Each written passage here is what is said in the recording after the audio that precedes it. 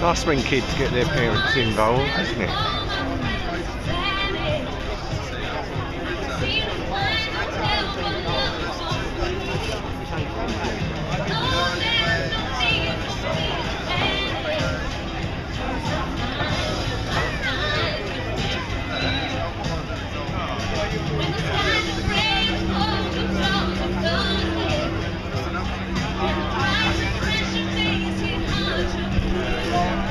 Thank